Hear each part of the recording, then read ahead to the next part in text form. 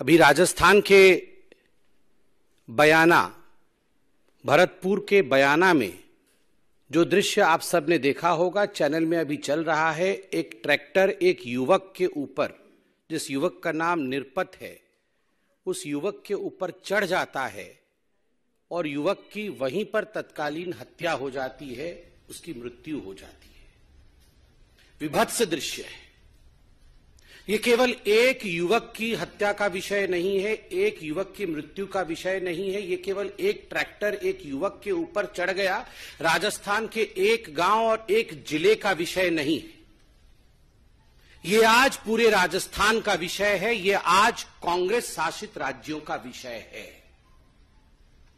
बताया गया है कि प्रियंका वाड्रा राजस्थान आज पहुँच रही है। मैं आज भारतीय जनता पार्टी के प्रवक्ता के नाते और पार्टी के एक जिम्मेदार कार्यकर्ता के नाते, आज प्रियंका वाड्रा जी से ये डिमांड करता हूँ कि इससे पहले वो जनसभा को संबोधित करे। ये जो हृदय विदारक दृश्य है भरतपुर का, हत्या हो रही है, सरेआम हत्या हो रही है, उसकी रिकॉर्डिंग हमारे सामने है। ये लड़ाई कोई आज की नहीं है।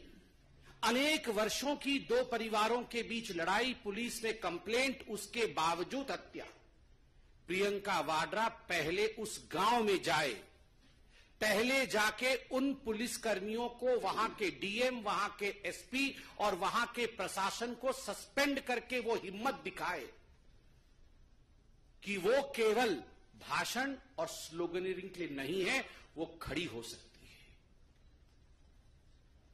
She has to project that she has the spine, she has the gall to visit Bharatpur, to visit the place where this gruesome incident, this gruesome murder has taken place only a while ago, and the video which has gone viral across the country and beyond is heart wrenching.